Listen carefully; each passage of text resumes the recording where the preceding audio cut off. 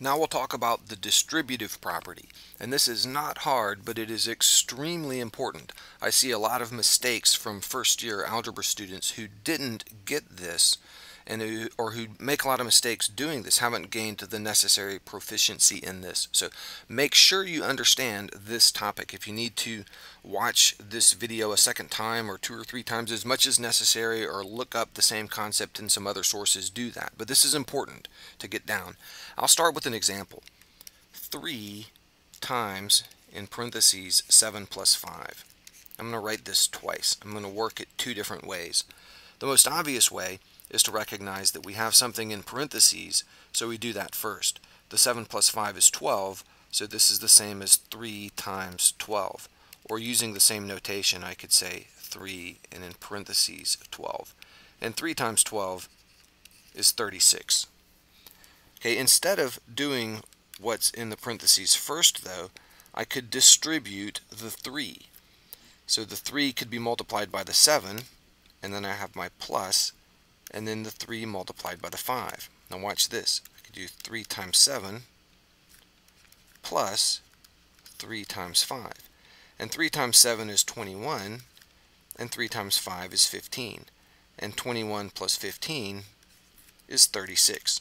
So there we have it, the same answer in either case. You can do what's in parentheses first and get an answer, or you can distribute what's on the outside multiplied by the group and you get the same answer. Here's another example. 5 times in parentheses 6 minus 2. Okay, I can say 6 minus 2 is 4, so this would be the same as 5 times 4, which is 20, or I could do it like this. 5 times 6 minus 2, I could think of this 5 times 6 minus 5 times 2. So I'll write that step out. 5 times 6 minus 5 times 2. And 5 times 6 is 30 minus 5 times 2, which is 10, and 30 minus 10 is 20. Once again, we get 20, the same answer as we had before. Being able to distribute like this is very important. And at this point, you might ask, why? Why do we need to do this? Isn't it just easier to do what's in parentheses first and then multiply? And the answer is yes, that's easier if we're working with simple numbers like this.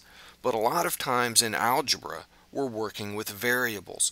And being able to manipulate expressions with variables is very important. So for example, if I have something like this, 7 times, in parentheses, a plus 5. I can't just add the a and the 5 if I don't know what the value of a is.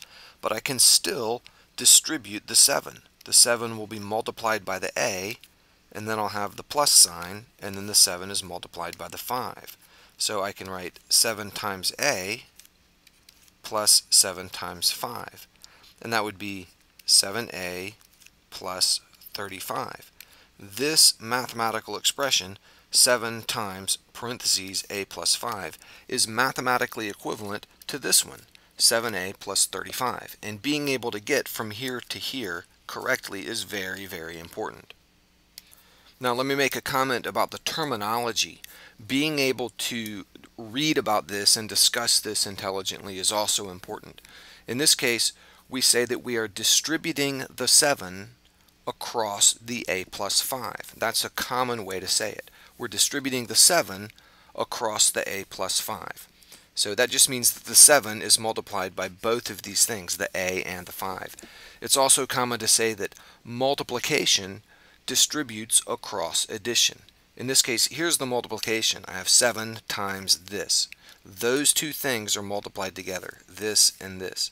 And the 7, which is being multiplied by this group, we note that this group is addition, a plus 5, those two things added. So the 7, which is being multiplied, distributes across both of these terms which are being added. That's what we mean when we say multiplication distributes across addition. The 7 is multiplied by the expression in parentheses, which is addition. Just understand that uh, phraseology, the way things are, are uh, talked about. We say that we are distributing the 7 across the a plus 5, or that multiplication distributes across addition. Now distributing also works with more than two terms. For example, you might have something like this, 7 times 8 plus 2 minus 3. Well, this would be the same as 7 times 8, and then we have a plus sign, plus 7 times 2, and then we have a minus sign, minus 7 times 3. So the 7 gets multiplied by each term in the group. And we can figure this out. 7 times 8 is 56, plus 7 times 2, which is 14, and then we have minus 7 times 3, which is 21. So 56 plus 14 minus 21, and that ends up equaling 49. Here's another example. This one will have some variables. 4 times x plus y minus 3. Well, the 4 will get multiplied by the x, by the y, and by the minus 3. So let's do that. We have 4 times x, that's just 4x, plus 4 times y, that's 4y, and then we have the 4 times negative 3, which is negative 12, or we could think of it as minus 4 times 3, or minus 12.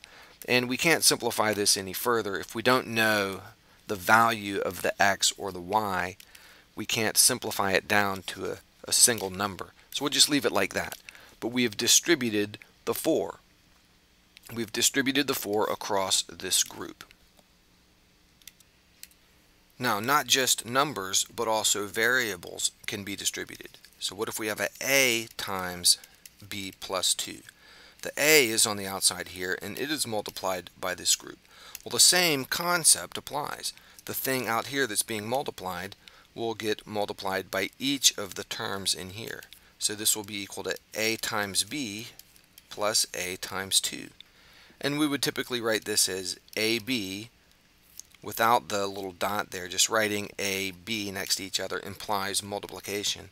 Then we have plus, and instead of writing a times 2, we would typically write 2a. We usually put the, the numerical part first before the variable part. The 2a means 2 times a, which is the same as a times 2.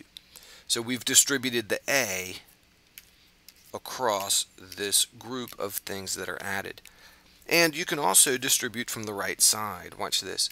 If I have a plus 6 times 4, well, even though this 4 is over here on the right, it still is multiplied by this group. And that means the 4 will get multiplied by each thing in the group. So it will get multiplied by the A and by the 6. So to distribute that, I'd write A times 4 plus 6 times 4. And if instead, if instead you wrote it as 4 times a plus 4 times 6, that's fine, because a times 4 is the same as 4 times a. And we would typically write this as 4a, and then 6 times 4, obviously, is 24. So 4a plus 24. And we can't simplify it any further if we don't know a numerical value for a. So this would be our answer. If we're told to distribute the 4 across the a plus 6, that's what we get. And we can state the distributive property in words, and we would state it like this. When we multiply a number by a group, then that number that number gets multiplied by each term in the group. That number gets multiplied by each term in the group.